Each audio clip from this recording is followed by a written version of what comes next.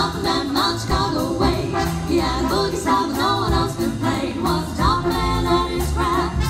But then his up, was gone with the track. He's in the army now, a blowing reveille. He's the boogie woogie bugle boy, company B. They made him blow of bugle for Uncle Sam.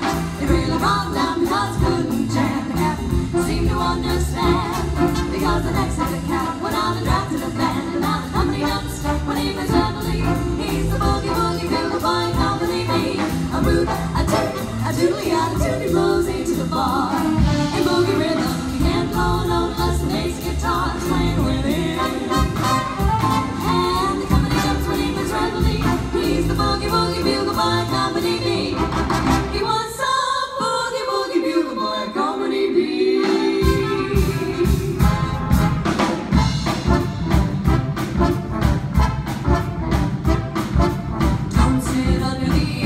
free with anyone.